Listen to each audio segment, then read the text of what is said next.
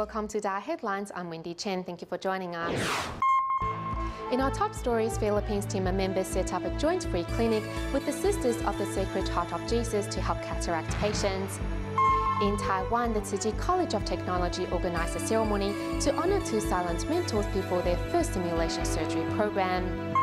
And we see how young people today courageously fight to realize their dreams despite facing tough competitions from home and abroad.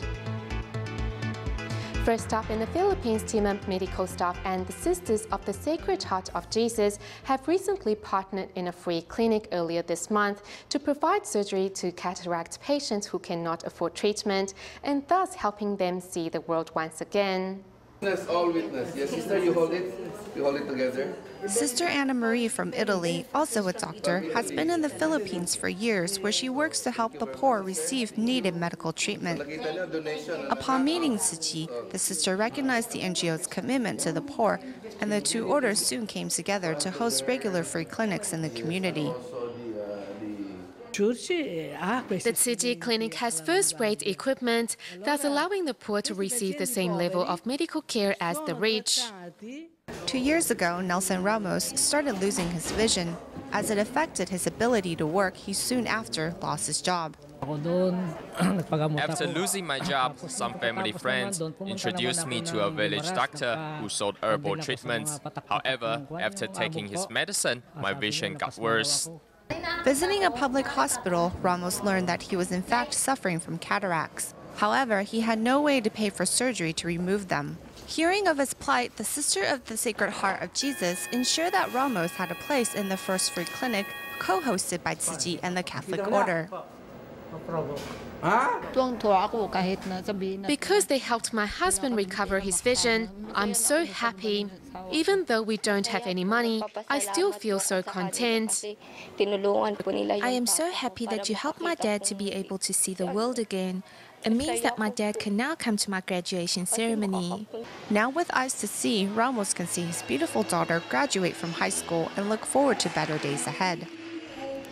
Also holding a free clinic to help the needy are team of doctors in Hong Kong who organized the event at Tin Shui Wai to offer basic health examinations and various types of medical services. In all, 39 medical staff were mobilized to serve 180 residents.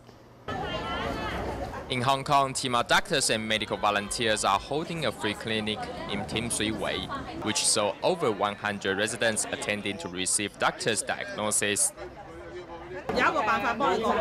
To lower your cholesterol, you can eat cereal as breakfast for a month. It will work.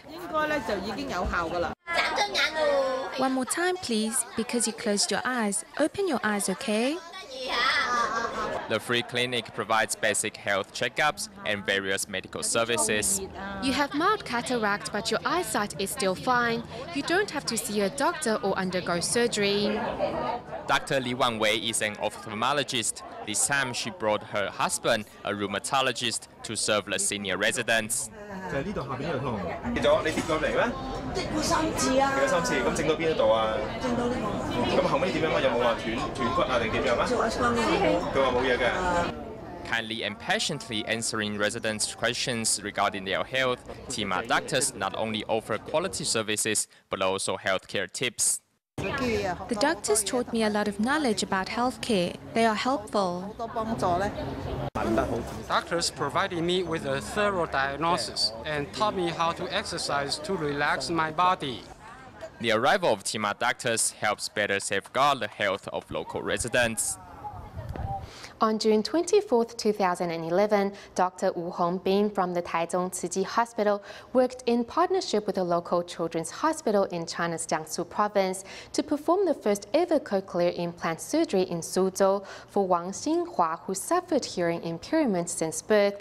Thanks to the hearing aid, Wang is now able to hear and speak like a normal child, and Dr. Wu also revisited the boy recently with a tool to help him learn faster and easier. Seeing the numbers on the toy, three-year-old Wang Xinhua can not only recognize them, but also utter them as well. By his side are his parents and Dr. Wu Hongbin. 这个嘞， Only upon seeing the cochlear implant fitted in his right ear will people realize that Wang was born with a hearing impairment. To help Wang continue to improve on his hearing, Dr. Wu recently brought him a new toy. The music can stimulate his reaction to sounds. This way, he can better recognize the tones and improve his hearing. When Wang was only one year old, Dr. Wu performed a cochlear implant surgery for the young patient. This time around, he's back in Suzhou to check on the boy's progress. Along with his growth, the electric current of the device has to be adjusted accordingly. Wang's parents sell vegetables in a market. Despite working day and night, they could never earn enough to cover their son's medical fees. Thanks to Ji, Xinhua is able to hear and speak now. Without Ji's assistance, my son would have never had a chance to hear. Hey. Mrs. Wang has waited for a long time to hear her son call her mommy. Hearing him calling me mommy for the first time makes me so happy. Seeing the less fortunate who are struggling, we, the blessed, must lend a helping hand. Able to now hear and speak, Xinhua isn't afraid of making friends with the other kids at school.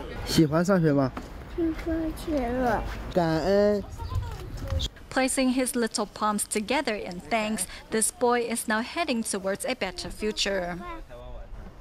Following his first cochlear implant surgery in Suzhou two years ago, Dr. Wu Hongbin from the Tzu Chi Hospital took the opportunity of the opening of the Chi Suzhou Grant and the Health Promotion Center in China to revisit his young patient Wang Xinhua and also organize a two-day free health consultation to help more children with hearing impairments. This little girl is four years old but still cannot speak. It turns out she was diagnosed with a hearing impairment. The local children's hospital told us my daughter is not able to hear. I was shocked. My mother and I kept crying, but I knew crying could not solve the problem. However, her parents didn't give up, and thankfully, they learned of the free consultation being held at the Suzhou Tzu Chi Health Promotion Center. Unaware of the uncertainty of her future, the little girl is all smiles, while her parents are full of worries. It is better to undergo surgery. If it succeeds, she may be able to hear in the future. Patiently listening to the little girl's parents is Dr. Wu Hongbin of the Taichung Tzu Chi Hospital, who is here from Taiwan to safeguard the health and hearing of local children. Many kids here suffer from hearing impairments, and they have to go to language training schools. People have different ideas on when to wear a cochlear implant or hearing aid, so I want to take this opportunity to exchange opinions. Through exchanges of medical knowledge, doctors from Taiwan are here to safeguard the health of local residents and make the future of those suffering from hearing impediments a bright one.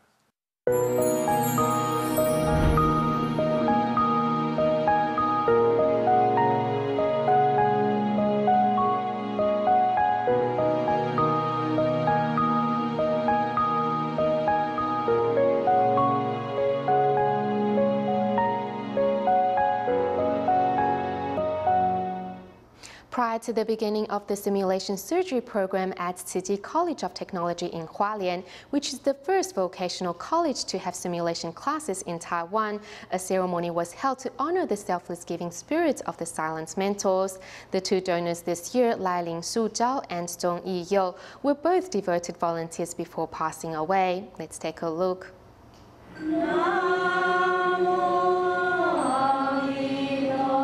The chanting of Buddhist scriptures marks the beginning of this year's simulation surgery here at Tzu Chi College of Technology, the first college in Taiwan to have such a program.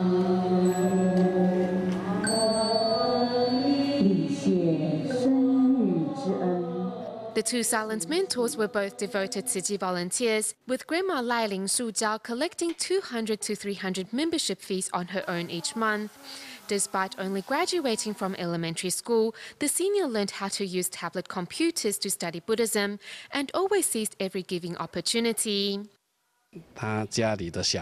Because of the way she gave herself, her children all agreed to her decision. I believe after this ceremony, her children will devote themselves more. The other silent mentor, Zhong Yi Yo, was a hardworking recycling volunteer. Known for his motto, surrounded by garbage but with a heart of purity, Zhong continued to set an example in death by donating his body to medical science.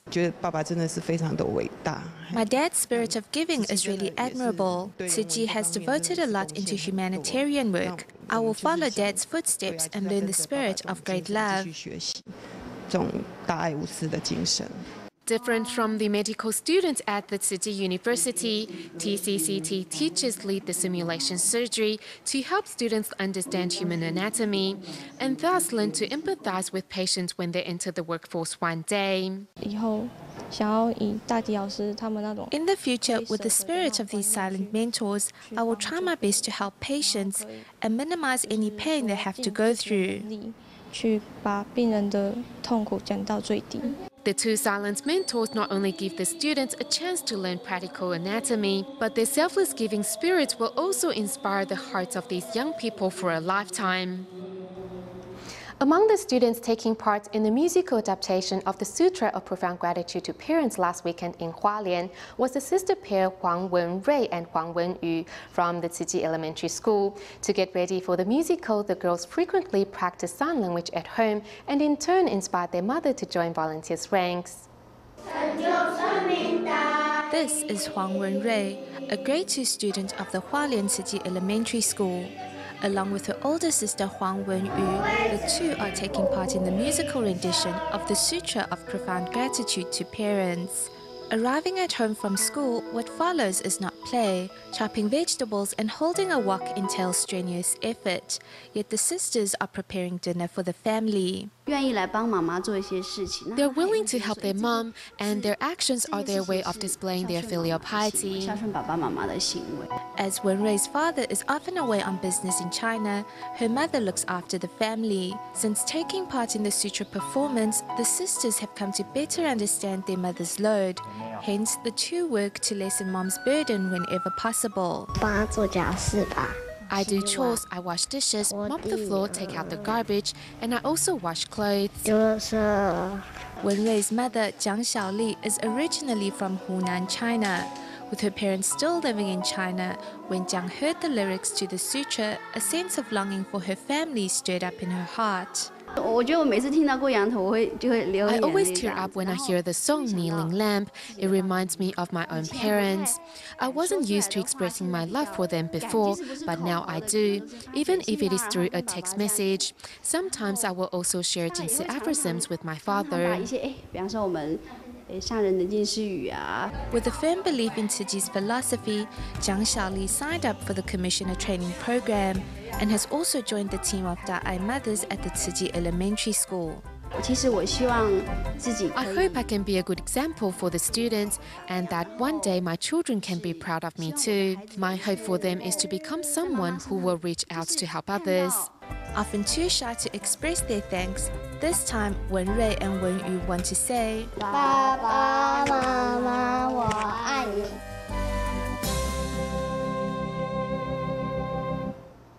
In Malaysia's Klang, 22-year-old Dima Kuva was not given the chance to make his dreams come true as he was diagnosed with leukemia soon after finishing college and was told he only had six months to live. Tzu Chi volunteers accompanied the young man through his treatment and even helped him fulfill his final wish of an outdoor picnic with the students to whom he once provided tutoring.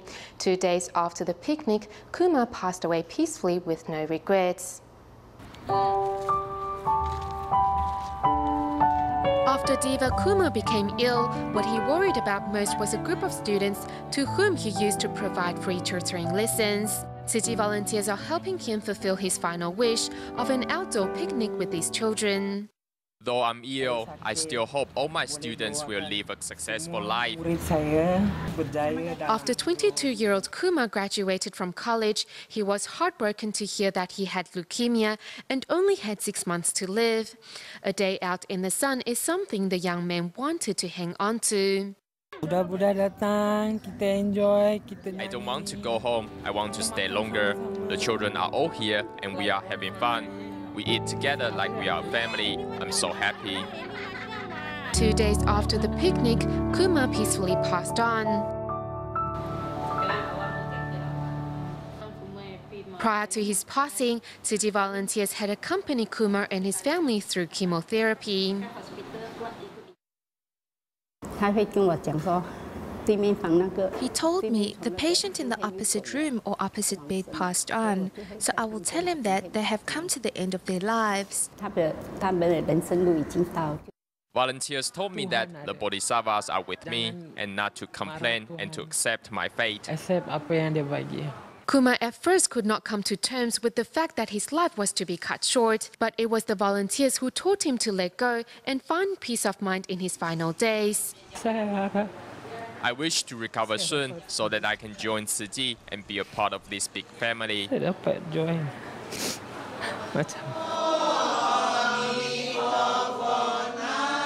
Though Kumar was never able to realize this wish, however, the good affinity he built with Tzu Chi will continue in life after life.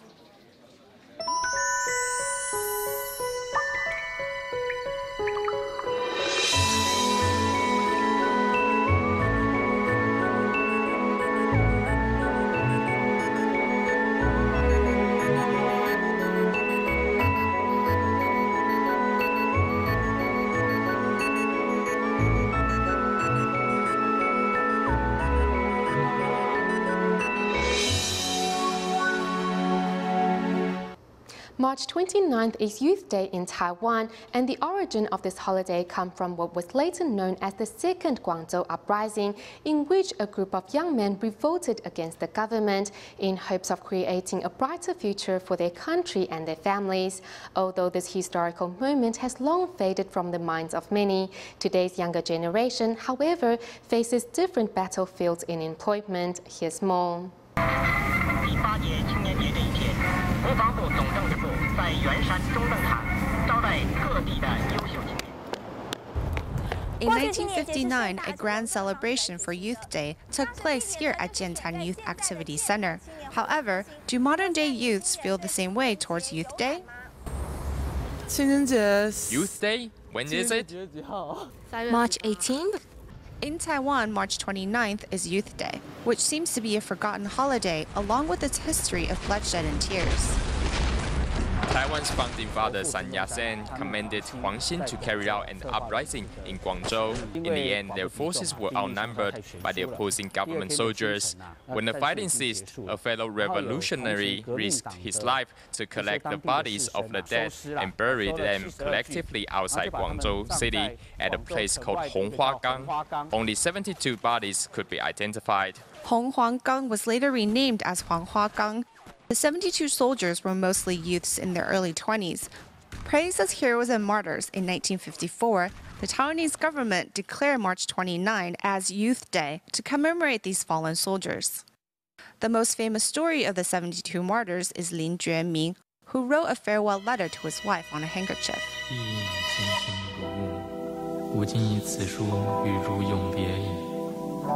He wrote, I love you very much, and this same love allows me to boldly give up my life for my country, as my country is in grave danger. I extend my love for you to help others, to help our country. This part of history lives on in the genre of campus folk rock, which was deeply rooted in the 70s music scene in Taiwan.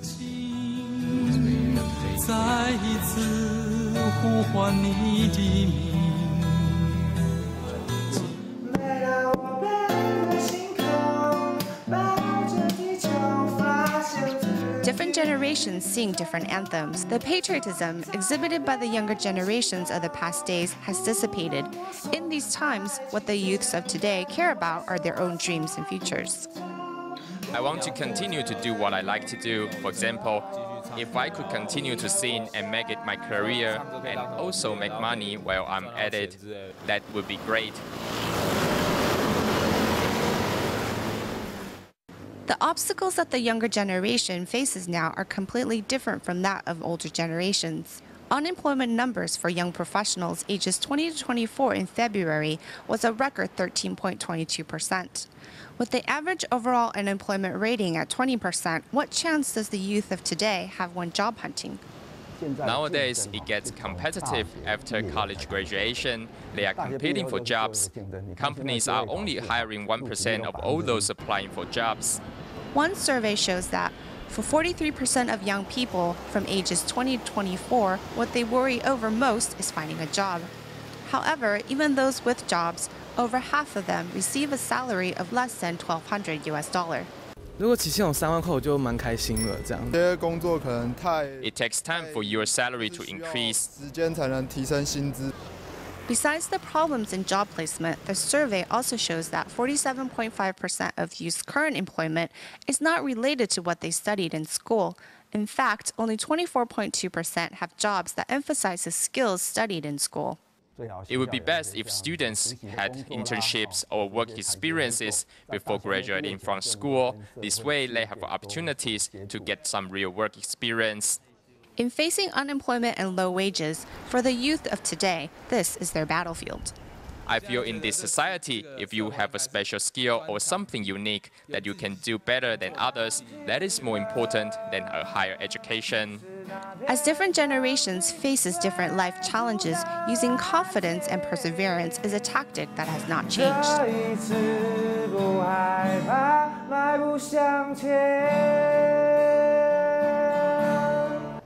Moving to the United States, Chi volunteers in Hawaii organized a training seminar to introduce the Buddhist NGO to more local residents. Through the sharing of translating volunteers and Tzu Chings, participants all gained better understanding of Chi's message of gratitude, respect, and love practicing one-on-one on how to transmit the philosophy of Chi. These Tzu Chings and translation volunteers use the ideas of gratitude, respect, and love to get their point across. Their hope is to get more young volunteers to join them in working on behalf of society. It's our intrinsic nature. It's something that everyone has. Why is it that, you know, even though not all of us have had those experiences, I've never been diagnosed with cancer, Devin hasn't had his first child yet, I think.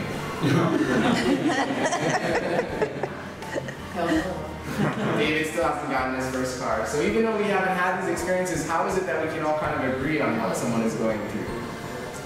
This compassion for others is at the foundation of both volunteer work and personal growth. Along these lines, thanks to the efforts of translation volunteers, more and more young people are joining Ching sponsor activities, which included providing hot meals and a caring smile for the homeless. Through such activities, Chi has seen its volunteer numbers swell, thus ensuring its continued presence in the community at large.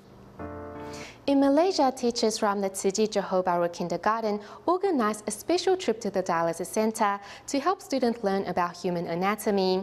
Apart from making Jingsi aphorisms cards, the children also prepared two sign language songs for the dialysis patients. We'll leave you with these images. Thank you for tuning in. Goodbye.